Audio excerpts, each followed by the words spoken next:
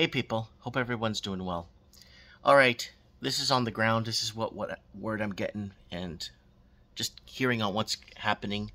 And this is how we get information out to each other by basically kind of saying it without saying it. So, respiratory syncytial virus infection, RSV. Apparently, from what I've been hearing, apparently people are dropping from this a lot like flies in my area, from what I've heard, apparently. This is just my opinion and what has been being told to me and others and what we're hearing. So when you look it up, respiratory syncytial virus infection, RSV, it's obviously a report coming from the CDC explaining what it is, Center for Disease Control and Prevention.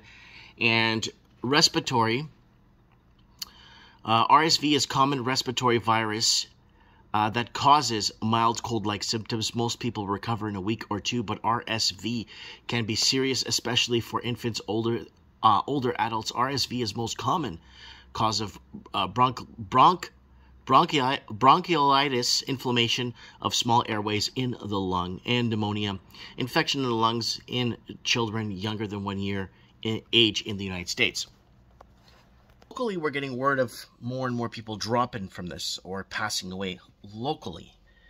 Now, I want to ask you guys, what is happening in your neck of the woods or what is really happening? Go into kind of simple Google search and you find from yesterday's date, when will we get an RSV vaccine? Is RSV going to be the next, you know, the next thing, right? So pharmaceutical companies and health authorities are pushing to get respiratory blah, blah, RSV vaccines uh, approved, ready for distribution. Uh, there's a good reason behind this sense of urgency. So then you go into RSV versus influenza. Outcomes worse for hospitalized adults with RSV. Now, you go into their study, and this is pulmonary, uh, pulmonary pulmonary advisory. So it goes into a key point here. Watch the key point.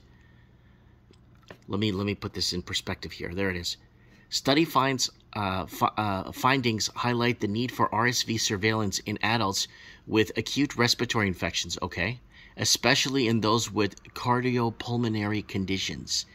So when you start connecting the dots, starts to make sense from what's been going on in the last couple of years and what you've been told and whatnot. So I just want to put this out there. Comment below your testimonies or what make this channel worth it. Um, RSV, are you noticing this pattern happening in your immediate area? Maybe call up a nurse. Maybe call up somebody that you might know that could tell you what's going on or maybe give you this information that you could share with us. Anyways, just passing on some information here. Mike Martins, I have spoken.